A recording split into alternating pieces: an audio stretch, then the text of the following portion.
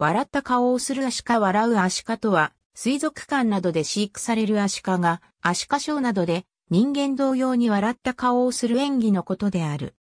同様のものに、水族館などのアザラシが行う、笑うアザラシという演技もある。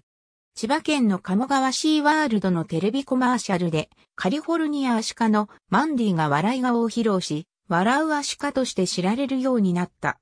他に、漢字などが鴨川シーワールドでの正月の初笑いなどのイベントにも見ることができる。成人式などで笑うアシカと記念撮影を行うこともある。関西初の笑うアシカとなったのは、木の崎マリンワールドのトイである。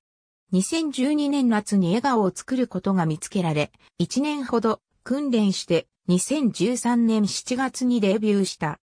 マリンワールドには水中でのショー、スイムチューブを見られるチューブという設備があり、そこでトイは水中でも笑い顔を披露する。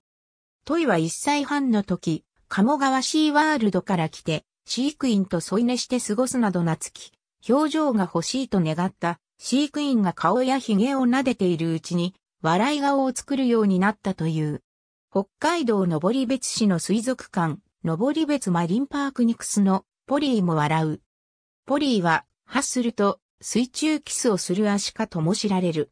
東京都のエプソン品川アクアスタジアムのカリフォルニアアシカ、プッチも笑い顔を披露する。